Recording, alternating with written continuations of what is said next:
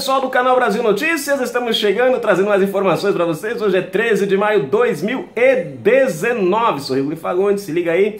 Gente, Sérgio Moro tem sido atacado esses últimos dias por conta do negócio do STF que o Bolsonaro falou, né?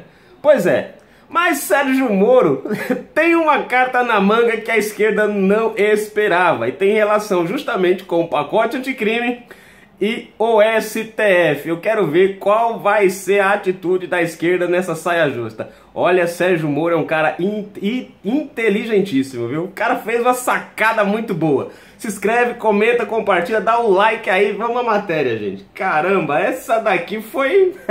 Não é o tsunami do Bolsonaro ainda, mas o cara colocou a esquerda numa posição que tá difícil para ela agora, viu? Olha só. Moro é uma figura tão correta que incluiu no pacote anticrime cláusula que o impede de ir para o STF. Essa é a jogadinha. Essa é a jogadinha. Ele colocou uma cláusula lá no, no pacote anticrime que impede ele de ir para o STF. Só que tem um detalhe, gente. Só que tem um detalhe. Se liga. Olha só isso. A mídia divulga que Bolsonaro estaria enfraquecendo Sérgio Moro ao declarar com tanta antecedência a intenção de indicá-lo como ministro do Supremo Tribunal Federal, STF. Algumas considerações.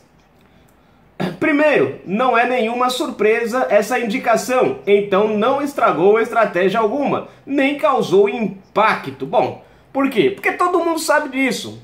Antes de Bolsonaro ser eleito a presidente da República, nós já cogitávamos a possibilidade de Sérgio Moro ir para o STF. Quem não cogitava isso? Ou melhor, quem não desejava isso? Quem votou em Bolsonaro já votou com essa ideia de Sérgio Moro no STF.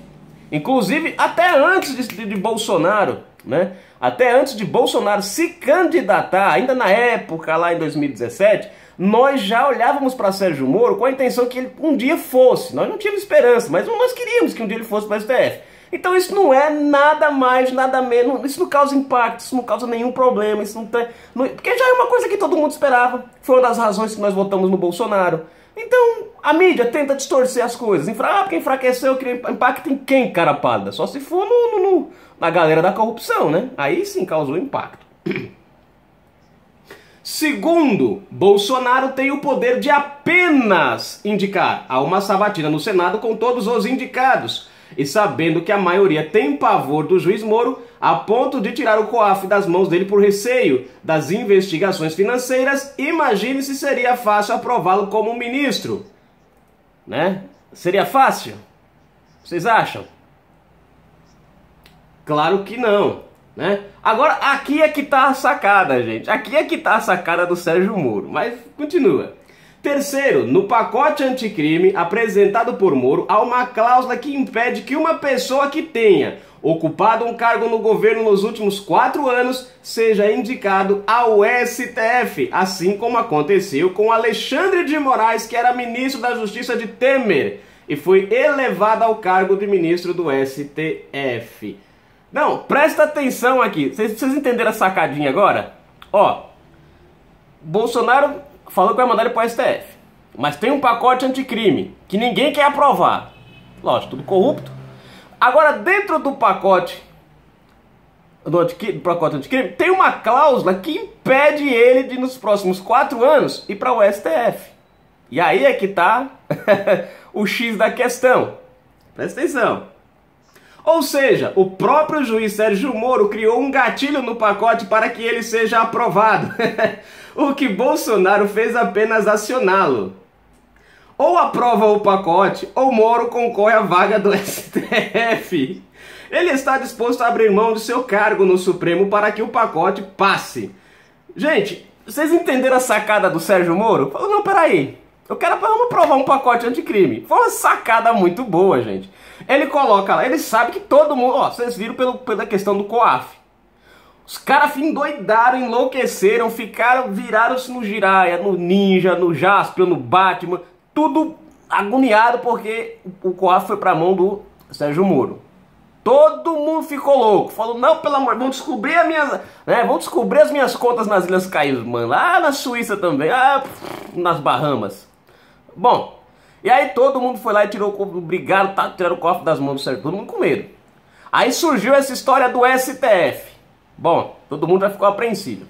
A, a história do pacote anticrime, bom, já vem, ó, há um tempo que o pessoal vem moendo, se segurando, tentando tirar. O que, que, o, o, que, que o, o, o cara fez? O que, que o Moro fez? Não, beleza.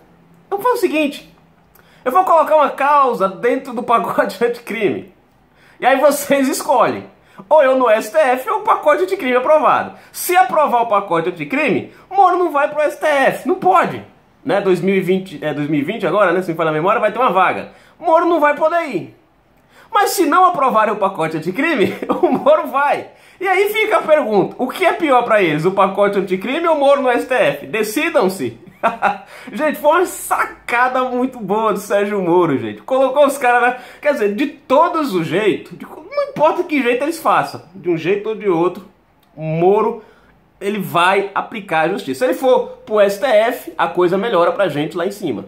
Se o pacote anticrime for aprovado, o Brasil muda e muda muito. Né? Colarinho branco não vai ter mais privilégio, corrupção vai deixar de ser crime, né, favorecido e outras cositas mais por aí, né? Então, quer dizer, tá ali, a violência vai ser combatida com mais rigor, né? O cidadão de bem vai ter direito à defesa e por aí vai. Então, né, a, os trâmites vão andar mais rápidos das coisas. Então, veja só, dos dois lados o Brasil ganha. A questão é, dos dois lados a esquerda perde. Agora, qual é a pancada maior? Né? Qual pancada eles querem evitar? Sérgio Moro no, no, no STF ou pacote anticrime? Os dois vão pegar no pescoço do, do da, da, da, ladroa, da ladroagem. Agora o problema é eles avaliarem qual dos dois dói menos, né? Cara, foi uma sacada muito boa. Ó, se aprovar o pacote anticrime, eu não posso subir para o STF, mas vocês estão livres de mim. Hum, hum, se vocês não aprovarem o pacote anticrime, eu sento lá na cadeirinha. E aí, ó, chumbo. Dizer, gente, imagina, esse cara na Lava Jato, como o juiz já fez um estrago na roubalheira. Você imagina é, esse camarada lá no, no, no, STF. Aí é corrupto pulando pelo ladrão, gente, né? Fugindo pelo ladrão. Ó, até rimo, né?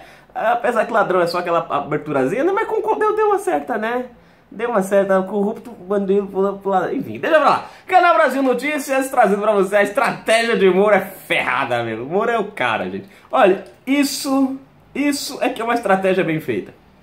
Não é uma barganha do toma lá da cá é o que é melhor para o Brasil. As duas coisas favorecem o Brasil. Vocês escolhem. As duas coisas prejudicam vocês. Vocês é que escolhem. Ou uma ou outra. Não tem pra onde correr. Ou faz uma ou é outra. Não tem. Se não aprovar, eu subo. Se aprovar, eu fico aqui, mas a lapada come do mesmo jeito. Né? Então tá aí. Sérgio Moro sempre. Cara, é, é o Moro. É o Moro. Fui.